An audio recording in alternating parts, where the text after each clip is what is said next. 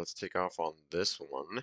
We are going to push these faces back a little bit so that we can bend a flange on the inside of that thing. So first step, let's go and close this. We'll take a look at it later.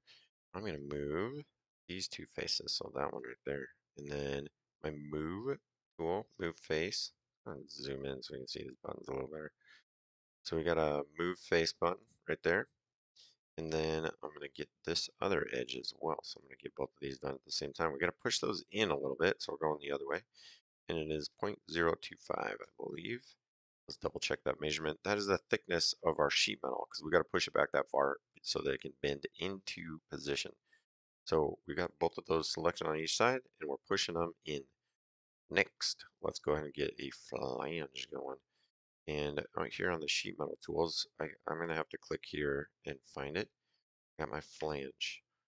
And I'll just click on the face right there. It shouldn't go the wrong way, but if it does, you can always flip it around, right? If you need to get it on the inside.